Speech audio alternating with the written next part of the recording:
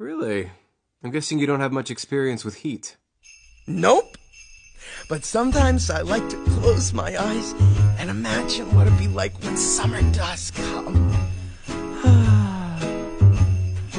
Bees will buzz, kids will blow dandelion fuzz, and I'll be doing whatever snow does in summer.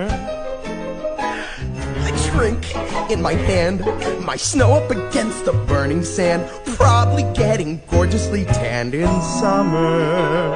I'll finally see a summer breeze blow away a winter storm, and find out what happens to solid water when it gets warm. And I can't wait to see what my buddies all think of me. Just imagine how much cooler I'll be The hot and the cold are both so intense. Put them together, it just makes sense. Winter's a good time to stay in and cuddle, but put me in summer and I'll be a happy snowman. When life gets rough, I like to hold on to my dream, relaxing in the summer sun, just letting off steam.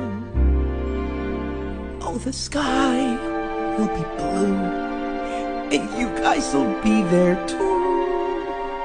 When I finally do what frozen things do in summer.